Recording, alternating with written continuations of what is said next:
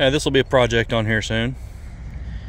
This is a early 60s Sears Suburban.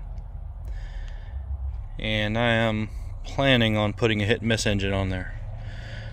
I have yet to find the hit and miss engine, but uh, that is the plan.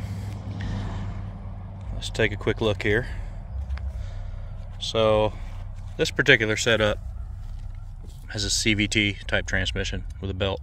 There's your input to the transmission.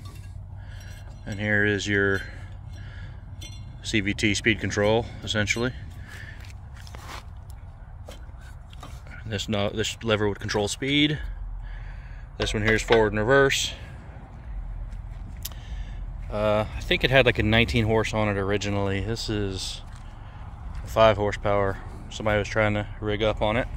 I don't know if they were ever successful at it. It is a Briggs & Stratton, but sold by Montgomery Wards. This is kind of neat. This is the engine I grew up on, essentially. This style, Briggs & Stratton, is the first engine I've ever taken apart as a kid. So that'll be kind of neat to play with. Um, anyway, it's mostly in good shape. There's your brakes. Steering seems to be pretty tight. So not too big a deal there. I'm not super familiar with these tractors, but does have a three-point hitch on it. Some interesting stuff. The uh, axle on the right side looks like close to an inch and a half. On the left, we're at about an inch. Not sure why that's set up, but that's kind of interesting. Seat steering wheel is a little bit offset to the left. But it'll be neat to play with and see what we got. I'm seriously considering making a will it run video off of it as it sits before I uh, take it all apart and put a hit and miss on it. Be kind of neat. Engine seems to have compression, fuel tank's clean.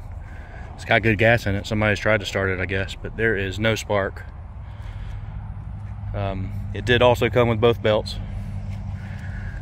So I do have belts to throw on it if I want to see if I can get it to run with that. This uh, pulley here is supposed to slide. It's seized up. It doesn't move very good. So we'll have to take care of that. But anyway, might be a fun project.